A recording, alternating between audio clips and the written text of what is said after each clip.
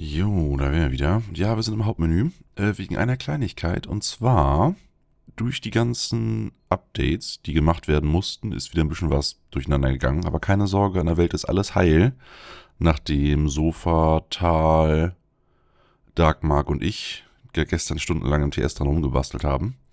Und zwar müssen wir jetzt nicht äh, ein Spiel laden, wie sonst normalerweise, sondern ich muss ein neues Spiel starten und zwar ein Custom-Szenario. Und da ist mein Speicherstand. Create. So, das heißt, wir sind genau da, wo wir eben gerade aufgehört hatten. Nämlich hier, wo ich der Stein mitnehmen wollte, um die Mauern zu bauen. Forschung ist auch noch alles da. Warum ich das jetzt gemacht habe, ist folgende. Also, als man mit 1.0.0 von Ditec angefangen hatte, war einiges kaputt. Also zum einen wuchsen die Bäume nicht, außer man den Tree Farm Mod installiert. Man konnte die Furnace nicht ordentlich bauen. Und was war da noch? Es gab noch ein paar kleinere Sachen. Naja, dann gab es ein Update, wodurch die Bäume gewachsen sind. Da musste man allerdings, wenn man die Welt weiterspielen wollte aus 1.00, ein paar Änderungen machen. Diese Änderungen haben zu weiteren Bugs geführt. Nämlich, wenn ihr mal auf die Karte guckt, sind da unten. das ist auch sehr schön gerade. Diese drei Punkte, das sind die eigentlichen Lavafelder, die hier waren. Vor dieser Folge. Da waren da drei Lavafelder, da zwei Lavafelder und hier waren ein paar. Was jetzt allerdings passiert ist, als ich das, diese Folge aufnehmen wollte, vor den ganzen Änderungen, war, ich bin hier hingelaufen und wollte anfangen Lava zu bauen, aber die Lavafelder waren weg wie die jetzt auch verschwunden sind. Ne? Habt ihr gemerkt? Hier habe ich gesagt, waren drei und hier waren auch noch drei. Die drei sind verschwunden. Und die drei sind nur da, weil ich sie nachträglich eingefügt habe. Weswegen wir jetzt auch ein Szenario spielen und kein eigentliches Spiel. Den ganzen Zaubertrick zeige ich gleich nochmal. Da oben sind zwei Lavafelder. Ich laufe weiter in die Richtung. Weiter in die Richtung. Ich hoffe, ich komme dem Spawner nicht zu nah. Und plopp, Lavafelder sind weg. Das heißt, Dadurch, dass ich diese Welt, diese 1.00 Welt behalten habe und nicht neu angefangen habe, sind alle Lavafelder in dieser Welt vernichtet worden. Was es ein wenig schwierig macht, weiterzuspielen. Aber es gab da einen netten Trick, den Natal rausgefunden gehabt. Und zwar, äh, unten in der Beschreibung von dieser Folge ist ein Link in das Forum und da gibt es einen Konsolenbefehl, den man eingeben kann und damit werden Save Games in Szenarios umgewandelt. Und Szenarios kann man im Map Editor editieren. Das heißt, ich habe das Ganze dann gemacht, habe das Ganze hier als Szenario editiert und habe dann ungefähr an dieselbe Stelle halt wieder drei Lavafelder hingesetzt. Das gleiche habe ich auch im Nordosten gemacht. Also hier im Nordosten sind ja da drei Lavafelder und da zwei. Ich glaube, ich habe irgendwo hier einfach drei neue gesetzt. Das heißt, die einzigen Lavafelder auf dem gesamten Planeten, die es gerade gibt, sind die drei hier und die drei da. Aber die dürften ja eigentlich reichen.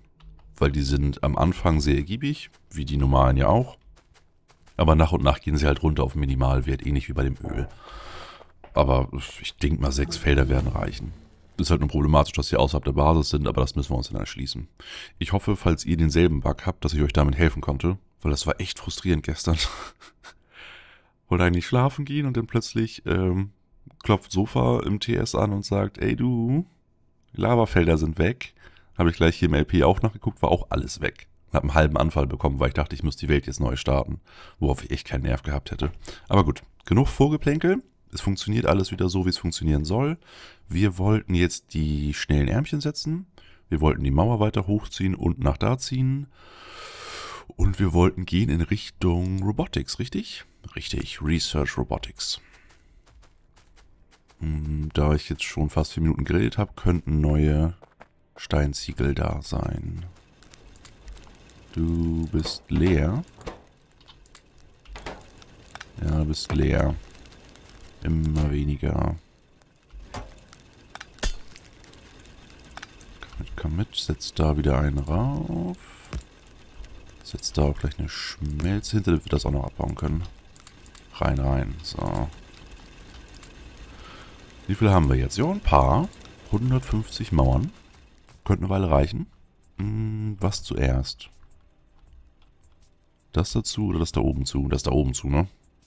Ja, ist eine dezente Sicherheitslücke. Geh mal, geh mal nach oben. Es wird hoffentlich auch gleich wieder hell.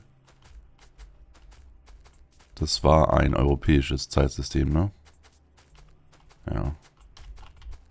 Also mit ähm, 14 Uhr, 15 Uhr und all sowas.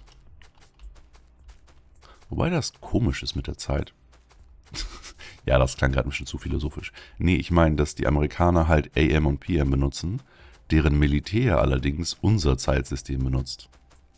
Also wenn ein Militärmensch in Amerika sagt 1400, äh, 1400, dann meint er halt 14 Uhr. Also 2 Uhr nachmittags, PM. Pff, ja, ist halt komisch. Aber sei es drum, es wird... Was? Zeit läuft nicht.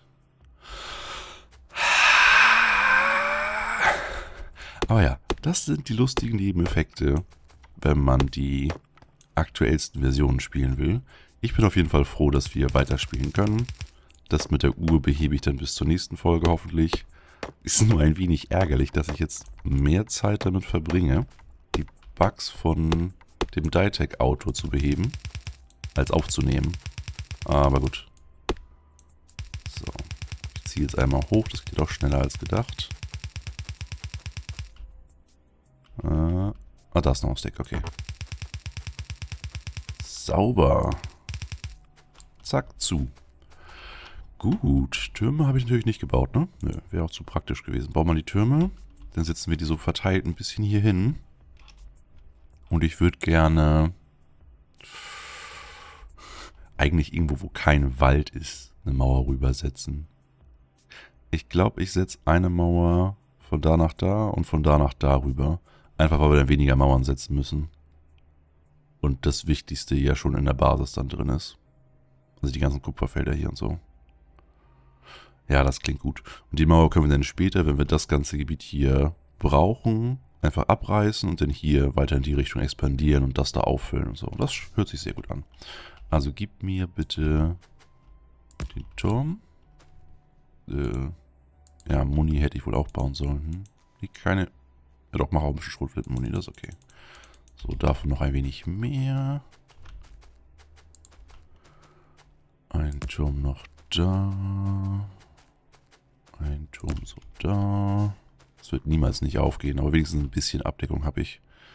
Weil ich denke mal, wenn die Beißer angreifen, also sagen wir mal, sie greifen genau da an, wo die Türme sich, wo keine Abdeckung der Türme ist, dann knabbern sie einmal durch die Mauer durch. Dann werden sie aber irgendwann die Türme erschnüffeln in Richtung Türme laufen und dann erschossen werden. Solange äh, es halt nur Small und Medium Biter sind. Sobald der erste Big Biter kommt, haben wir ein Problem. Oh, hier ist schon der nächste Turm. Ja, sauber. Okay. Das heißt, es geht jetzt zurück zur Basis. Warum ist da ein Loch? Warum? Okay, ich habe noch welche.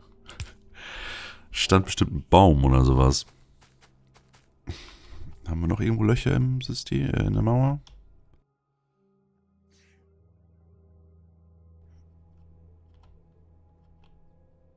Unten, ja, aber ist nicht so wichtig. Ja, ist okay. Äh, Karte weg, so. Ja, also nicht schön, dass ich immer wieder Lücken lasse. Aber jetzt sollten wir ein geschlossenes System haben. Was mir halt ein bisschen Sorgen macht, ist, dass wir hier oben keine Kontrolle drüber haben. Also wir sehen nicht, was da passiert. Warum sehen wir eigentlich, was hier unten passiert? Nur wegen dem Radar, ne? Das heißt, wir könnten das einfach hier hoch erweitern. Unser sehr schön aussehendes Mastensystem. Und dann hier irgendwo eine Radaranlage hinpacken. Dann sehen wir, wenn so ein Stoßtrupp dahin kommt zum Scouten. Und wir sehen auch den größeren Trupp, der dann versucht, die Basis aufzubauen. Ja, das klingt nicht schlecht. Er braucht wieder ein bisschen mehr Strom, aber klingt nicht schlecht. Meine Pickaxe ist kaputt. Bau. Was? Mining Power 4? Den Power 4. Nein, ich will kein Zink verbrauchen. Danke. Ah, Simple Repair Packs. Simple Repair Pack for the Player. Achso. Damit kann ich jetzt nicht die ersten Roboter ausstatten. Schade. Ich hätte da schon ganz gerne so einen kleinen Puffer vorher gehabt, bevor die ersten Roboter kommen. Aber wir haben ja noch nicht mal Logistikkisten, also ganz ruhig bleiben, Girokon, ganz ruhig. So, kämpf dich hier durch. So. Gib mehr, mehr Steine für mehr Mauern. Mehr Kupfer. Das eine Kupferfeld ist schon fast leer, aber das ist okay. Wir haben hier, hier recht viel Kupfer. Wir haben da oben noch ein viel größeres Kupferfeld. Wir haben da unten noch viel mehr Kupfer. Das Einzige, wo ich mir ein bisschen Sorgen drum mache, ist Eisen. Weil das nächstgrößere Eisenfeld wäre da. Und Kohle. Aber, ne, Kohle arbeiten wir schon gegen an. Dass wir auf die Fuelblocks umstellen, die da, um nur weniger Kohle zu verbrauchen. Deswegen gib mir die mal mit. Die paar Stacks da. Gib mir das ganze Plastik. Hau hier noch ein bisschen Kohle rein. Wie schaut es mit den Tanks aus? Schwefelsäure wird voller, Petroleumgas füllt sich aber auch, Leichtöl auch, Schweröl auch. Gut, gut. Und bei dir hapert es dann irgendwas so? Ein Stack davon, ein Stack davon. Zwei Stacks davon, zwei Stacks davon. Das heißt, du läufst jetzt so lange, bis der Capacitor weg ist. Also jetzt. Sehr gut. Schön, dass ihr gerade 400 Ressourcen reingestopft habt, die wir gar nicht mehr verwenden können da unten. Und Öl ist durchgehend am Brennen. Schön, schön, schön. Das heißt, wir machen jetzt noch eine Schleife hier. Müssen wir ja gar nicht mehr wieder runtergebracht. Ach ja, das ist ja so ein super Service von dem Fließband. Grüne Tränke laufen nicht, weil keine Ärmchen da drin sind. Das sollten wir auch gleich beheben, sonst wird die Forschung nie fertig. Da und da. Du bekommst mal wieder alle grünen Chips für eine Weile. Rest reicht, ne? Ja. So, bekommst alle grünen Chips. Du hast volle Kisten, brauchst nichts mehr. Äh, blaue Ärmchen da. Äh, so rum. Oben rein, unten raus. Oben rein, unten nicht raus. Oben rein, oben rein, unten raus. Oben rein, unten raus. Und alle. Du kriegst... Was? Du kriegst Kupferplatten. Damit du Draht herstellst, damit du Draht rübergeben kannst zum einen hierhin. So, so, so. Zum anderen aber auch hierhin. Du bist falsch rum. Du... Was brauchst du? Eisen und Kupferdraht. So. Genau, jetzt werden die Capacitors wiederhergestellt, damit wir wieder Batterien herstellen können. Wenn wir Batterien hier reinschmeißen können. Dir fehlen grüne Ärmchen. Ja, das tut mir leid, die werden noch eine ganze Weile fehlen. Weil wir brauchen für alles grüne Chips und davon haben wir gerade nicht so viel. Und das, das wir haben, würde ich eigentlich lieber investieren, um normale Ärmchen herzustellen, um grüne Science Packs herzustellen. Macht für mich am meisten Sinn, dass wir das erstmal erforschen, als ne, das hellblaue Zeug schon so früh. Wie schaut es mit Eisenüberschuss aus? Ja, Kiste sagt okay. Forschung ist am Laufen. Bau bitte, damit das Inventar Bastelding da ausgelastet ist, das. Und währenddessen ersetze ich mal die Kohle hier unten mit Fuelblocks. Wobei ich vorher gucken will, was für einen Brennwert die haben. Kohle hat einen Brennwert von 8 MJ. Fuelblock von 25. Dafür passt in den Kohlestack 200. Es wären also 1600 MJ und hier wären es 1250. Ja. Trotzdem, zwei sollten reichen. Raus. Zwei rein. Wobei, warte, du befüllst die beiden schon mit Fuelblocks, ne? Ja, dann ersetzen wir den da hinten zuerst. Raus, raus. Äh, ja. Hab nicht dran gedacht, dass ich zweimal 100 bräuchte. Und die da hinten müssten weg. Die irritieren mich total. Weg, weg. So. Gut, also Fuelblocks regelmäßig abholen, da reinhauen, die weiter auffüllen und den überhaupt erstmal auffüllen. Das ist okay. Ihr kriegt jeweils mal ein bisschen Eisen, um Stahl herzustellen. So. Rubber brauchen wir immer noch nicht, kann ignoriert werden. Du bist bald alle. Können wir dann auf die andere Seite einfach auch noch was draufsetzen, das ist okay. Dich nehme ich mal mit. Euch nehme ich mit und hau ich hier rein. Du hast schon alle verbraucht. Oh Gott. Also es sind zwei Chips pro Ärmchen. Oh Gott.